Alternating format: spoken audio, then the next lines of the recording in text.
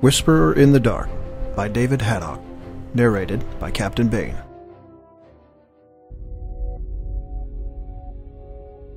People complicate things. That's what they've always been good at. Take a look at any functioning civilization and you'll see chaos, confusion, and frustration. It could be human, Xi'an, Banu, Vanduul, whoever. We may look different, be built different, but boil us all down and you'll find the same insecurities, fears, and anxieties gnawing. Tanya Oriel watched the yawning abyss outside the window. Cassili's Adagio and Four gently wafted through the otherwise empty ship.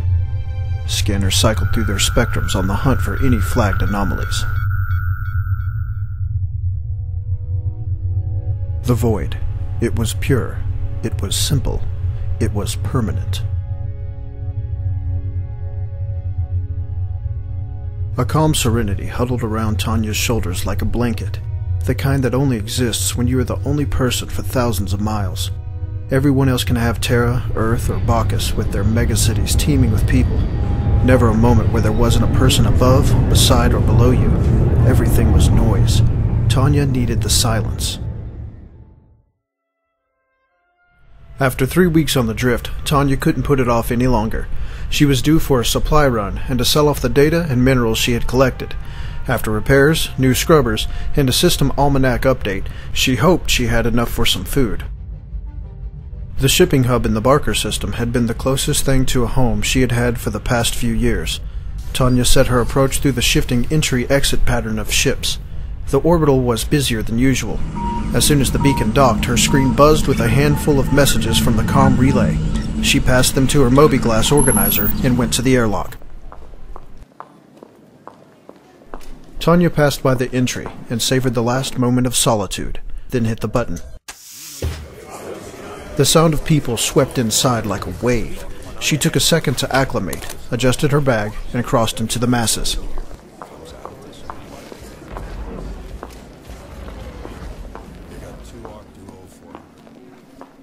Carl ran a small information network out of his bar, the Torchlight Express. An old surveyor for a long defunct terraforming outfit, Carl traded moving minerals for slinging booze and information. Tanya had known him for years. As far as people went, Carl was a gem. The Express was dead. Tanya checked local time. It was evening, so there was no real reason why it should be like this. A group of prospectors sat at a table in the corner, engaged in a hushed conversation. Carl leaned against the bar, watching a game on the wall screen. His leathery fingers tapped out a beat to some song in his head. He brightened up when he saw Tanya. Well, well, well. To what do we owe the honor, Doctor? Don't start, Carl. Sure. Sorry, Doctor. Tanya slung her bag onto the ground and slid onto a stool. Anything interesting? Tanya pulled her hair back into a tie. I'm great, Tanya. Thanks for asking. Business is a little slow. Do you know how it is. Carl said sarcastically, and slid a drink to her. Come on, Carl. I'm not going to patronize you with small talk. Carl sighed and looked around. Well, at this point, I'll take any patrons I can get. He poured himself a drink from the dispenser. Tonya swiveled her mobiGlas around and showed him her manifest. He looked it over. Running kind of light this time, huh? I know. You know any buyers? Hmm. How much you looking to get? 15? Tanya said as she sipped. She knew she was pricing high, and from the look on Carl's face, he thought so too. I need the money. I might be able to get you ten. I would give you my unborn child for 10. With all the unborn kids you owe me, you better get started, he said. Tanya smacked his arm. One of the prospectors drifted over to the bar with empty glasses. He was young, one of those types who cultivated the dirty, handsome look. Probably spent an hour perfecting it before going out. Another round. As Carl poured, the prospector looked at Tanya, giving his looks a chance to work their magic. They failed. Carl set a fresh batch of drinks down. The prospector paid and went back, slightly deterred. I think someone liked you, Carl teased. Not my type. Living? Exactly. Tanya watched the prospectors. They were really in an overtly secretive conversation. Any idea what they're here for? Of course I do. Yeah? What'd they say? Nothing. Not to me, anyway. Carl pulled out an earpiece and held it out to her. Tanya wiped it off and took a listen. Suddenly, she could hear their conversation loud and clear. Tanya looked at Carl, stunned. You have mics on your tables? She whispered. Look, man, that's Carl what I'm shushed her. saying. If we can get out there. I deal in information, honey, so yeah. Carl said, almost offended that he wouldn't listen in on his customers. Tanya took another sip and listened to the prospectors. It only took a little while to catch up. Apparently, Court, the prospector who tried to woo Tanya with his ruggedness, got a tip from his uncle in the UEE Navy. The uncle had been running search and rescue drills in the Hades system when their scanners accidentally picked up on a deposit of curium in Hades 2. Being the military, of course, they couldn't do anything. But Court and his buddies were fixing to sneak in there and harvest it for themselves. Curium was a hot commodity, one of the core minerals the Xi'an used to armor their spacecraft. It was exceedingly rare in UEE territory. If those prospectors were on the level, they were talking about a tidy little fortune, certainly enough to patch up the beacon, maybe even install some upgrades. Even better, they obviously didn't know how to find it. Curium doesn't show up on a standard metal or a rad scanner. It takes a specialist to find, much less extract without corrupting it. Fortunately for Tanya, she knew how to do both. You've got that look, Carl said, and refilled her glass. Good news. I hope so, Carl. For both of us. Carl offloaded her haul at a discount, so she could set out as quickly as possible. Last time she checked, the prospectors were still at the express, but from the sound of it, they would leave in hours, maybe a day. Tanya disengaged the beacon from the dock and was back in her beloved solitude. The engines hummed as they pushed her deeper into space, pushed her toward a lifeline. The Hades system was a tomb, the final monument of an ancient civil war that obliterated an entire system and the race that inhabited it. Tanya had it on her list of places to study, but every year Hades was besieged by fresh batches of young scientists exploring it for their dissertation, or treasure hunters looking for whatever weapon had cracked Hades four in half, so the system had become more noise to avoid. Tanya had to admit that passing Hades 4 was always a thrill. It wasn't every day you get to see the guts of a planet killed in its prime. Then there were the whispers that the system was haunted. There was always some pilot who knew a guy who knew someone who had seen something while passing through the system. The stories ranged from unexplained technical malfunctions to full on sightings of ghost cruisers. It was all nonsense. There was a loose stream of ships passing through Hades. The general flight lane steered clear of the central planets. Tonya slowed her ship until there was a sizable gap in the flow of traffic before veering off towards Hades 2. She passed a barrier of dead satellites and descended into Hades 2's churning atmosphere. The beacon jolted when it hit the clouds. Visual went to nil and suddenly the ship was bathed in noise, screaming air, and pressure. Tanya kept an eye on her scopes and expanded the range of her proximity alerts to make sure she didn't ram a mountain. Suddenly the clouds gave way. The beacon swooped into the light gravity above the pitch black ocean. Tanya quickly recalibrated her thrusters for atmospheric flight and took a long look at the planet around her. As was expected, it was a husk. There were signs of intelligent civilization all around, but all of it was crumbling, charred, or destroyed. She passed over vast curved cities, built atop sweeping arches, meant to keep the buildings from ever touching the planet itself. Tanya maintained a cruising altitude. The roar of her engines echoed through the vast empty landscape. The sun was another casualty of the system's execution. The cloud systems never abated, so the surface never saw sunlight. It was always bathed in a dark grayish green haze. Tanya studied the topography to plot out a course and set the scanners to look for the unique curium signature she had programmed. She engaged the autopilot and just looked out the window. Being here now, she kicked herself for not coming sooner. It didn't matter that this was one of the most scientifically scrutinized locales in the UEE. Seeing the vastness of the devastation with her own eyes, Tanya felt the tug that a good mystery has on the intellect. Who were they? How did they manage to so effectively wipe themselves out? How do we know that they actually wiped themselves out? A few hours passed with no luck. Tanya had a quick snack and ran through her exercise routine. She double checked the settings on her scans for any errors in the initial input. A couple of months ago, she was surveying a planet and found nothing, only to discover on her way back that there had been one setting off that scuttled the whole scan. It still bugged her. It was an amateur mistake. She brought up some text on Hades. Halfway through a paper on the exobiology of the Hadesians, her screen pinged. Tanya was over to the display like a shot. The scope gave a faint indication of curium below. She triple checked the settings before getting her hopes up. They seemed legit. She looked out the front. A small city lay ahead, perched above an endless sea of dead trees. It looked like an orbital laser or something similar had hit it, excising massively deep craters from buildings and ground. Tanya took a closer look. The craters went about 600 feet into the ground, revealing networks of underground tunnels. They looked like some kind of transport system. Tanya looked for a suitable landing spot with cover from overhead flights. If she was still here when the prospectors show up, spotting her ship would be a dead giveaway, and things would get complicated. She strapped on her environmental suit and respirator. She could check the ship's scanners through her mobiGlas, but threw another handheld scanner slash mapper in with her mining gear just in case. Finally, she powered up her transport crate, hoping the anti-gravity buffers would be more than enough to lug the Curium back.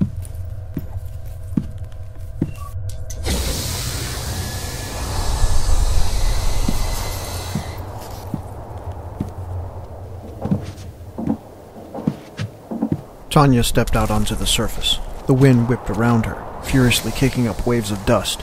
She pushed the crate in front of her through the blasted forest. Gnarled branches clawed at her suit as she passed. The city loomed overhead, black silhouettes against the gray-green clouds. Her curiosity got the better of her, so Tanya decided to take a ramp up to the city streets. She told herself the detour would be easier on the crate's battery. Smooth streets are easier for the anti-grav compensators to analyze than rough terrain. Tanya moved through the barren streets in awe. She studied the strange curvature of the architecture. Each displayed an utterly alien yet brilliant understanding of pressure and weight dispersal. The whole place seemed at once natural and odd, intellectually fascinating and emotionally draining. The Curium signature was still weak, but there. Tanya maneuvered the crate around destroyed teardrop-shaped vehicles.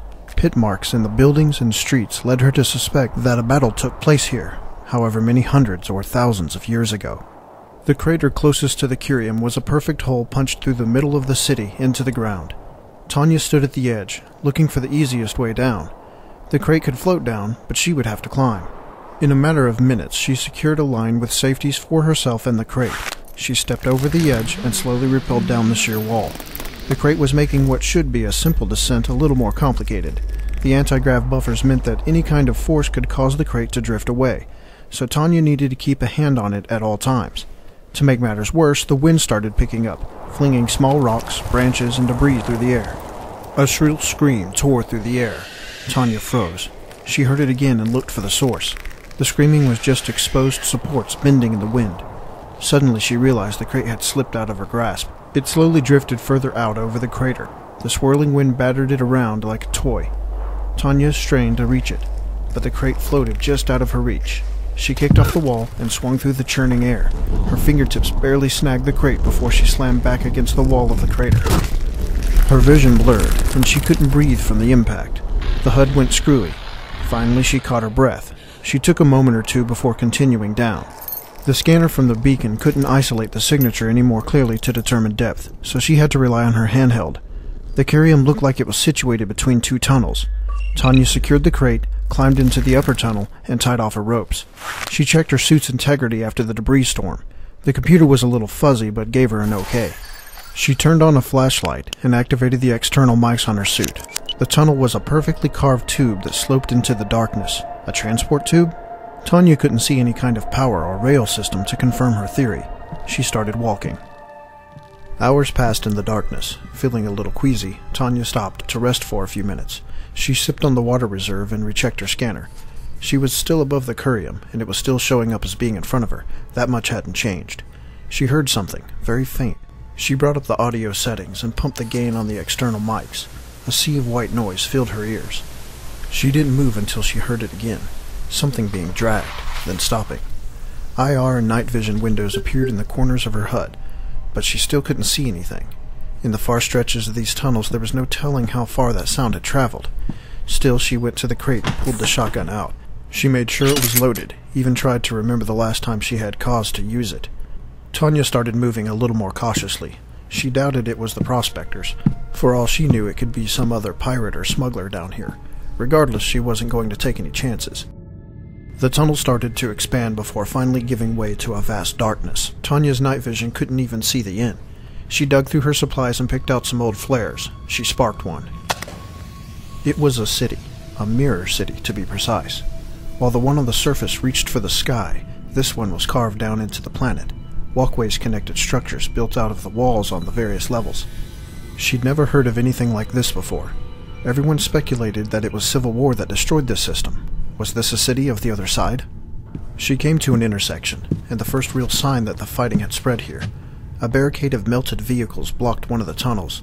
The walls were charred from either explosion or laser blasts. A shadow had even been burned into the wall. Tanya stood in front of it. The Hadesian was probably seven to eight feet tall. It seemed to have a roundish, bulky main body with multiple thin appendages. A thousand year old stain on the wall was hardly much to go by, but it looked like it had four to six legs and two long arms. Even as a silhouette, it looked terrified. A cavernous structure was built into the wall nearby. Tanya stood and approached to examine the craftsmanship. It was certainly more ornate than most of the other buildings down here. There weren't doors down here, just narrow oval portals. There was some kind of tech integrated into the sides. Tanya decided to take a look. It was a deep hollow bowl with rows of enclosures built into the sides. All of them were angled toward a single point, a marble-like cylinder at the bottom of the bowl. Tanya descended toward it. There was a small item sitting on top of it. She kept her light and shotgun trained on it. It was made from a similar marble-like stone as the cylinder. Tanya looked around. Was this some kind of church? She leaned down to get a better look at the item, careful not to disturb anything. It was a small carving. It wasn't a Hadesian shape, at least not one she was familiar with. She weighed whether she should take it. Tanya's head suddenly swam. She stumbled back and steadied herself on the enclosures. After a moment or two it passed. A subtle stabbing pain started to ache in her arm. She stretched, trying to work out the ache. She took a last look at the small carving. Tanya stepped out of the ornate building and brought up her scanner. The Curium was close. She followed the scanner's directions into the dark and twisted tunnels. Her eyes stayed locked on the growing glow of the screen. She tripped over something. The scanner clattered across the floor. It echoed for a minute. Tanya shook her head slightly. This place. She turned her lights back right into the face of a rotted corpse, its mouth open in a silent scream. Hell! She yelled as she scuffled away from it. She looked around. There was another form on the floor about 20 feet away. A strong box sat between them. The initial shock subsided. Tanya got up, grabbed her scanner, and walked over to the first body. Its skull had been cracked open. There was no weapon, though. No club or bar nearby. That was odd. The other one had clearly shot himself. The gun was still in his hand. They were definitely human, and based on their clothes, they were probably surveyors or pirates. She didn't know what kind of elements were in the air here, so she couldn't give an accurate guess as to how long they'd been dead, but suspected months. She scuffled over to the strongbox and kicked it open. Curium, already extracted and carefully wrapped. Sweet relief drifted through the exhaustion. Thanks, guys. Tanya gave them a quick salute. Sorry you weren't here to share it. Something flitted across her IR window. Tanya snatched up her shotgun and aimed. It was gone. Her breathing became rapid and shallow as she waited. Her finger hovered over the trigger. She pumped the gain on the external mics again and scanned the hall, the whole time telling herself to calm down. Calm down. Every movement of her suit was amplified a hundred times in her ears. She tracked the rifle through the tunnel, looking for whatever was in here with her. Something came through the static. Close. It hissed. Tanya fired into the darkness. She spun behind her. Nothing down there. She racked another round and blasted away. The shots blew out the speakers in her helmet. She grabbed the strongbox and ran. Ran through the slippery, sloping tunnels of pitch black, now in total silence. She passed the intersection where the Hadesian still raised its arms in terror. She kept looking back. She could swear something was there, just beyond the range of the IR, watching from the static. Tanya sprinted up the rise to see the grim overcast light of the exit, now just a pinhole. Her legs burned, her arm killed. All she wanted to do was go to sleep, but she wasn't going to stop. If she stopped, she knew she would never leave. She pulled herself up the rope and pushed through the blasted forest back to the beacon. Thirty seconds later, the thrusters were scorching Earth. One minute after that, she broke atmo. As Hades 2 drifted away, she tried to steady her nerves. Her environment suit slowly twisted on the hanger in the decontamination chamber. She noticed something. The respiratory functions on the back were damaged. The fall in the crater must have done it. It bashed up the feeds. She was getting too much oxygen. The headaches, nausea, and fatigue. Even that voice. Even though it chilled her still. They were all probably just hallucinations and reactions to oxygen poisoning. Probably. Tanya set a course back for the shipping hub in Barker. She had goods to sell, true, but even more now, she wanted to be around people. She wanted to be around the noise. Back in the decontamination chamber, the tiny Hadesian carving sat on the floor.